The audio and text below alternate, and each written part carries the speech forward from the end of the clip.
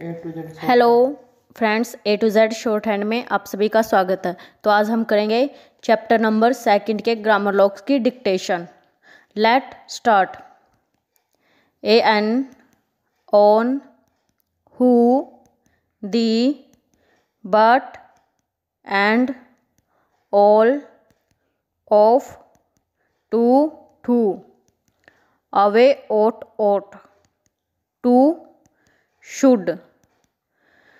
Friends, ये जो मैंने डिक्टेशन बोली है इनको आप बार बार प्रैक्टिस करना चार पाँच बार इनको ज़रूर लिख के देखना ताकि अच्छे से आ जाए आपको। अगर आपको मेरी ये वीडियो पसंद आई तो लाइक, शेयर, कमेंट ज़रूर करना। Thank you.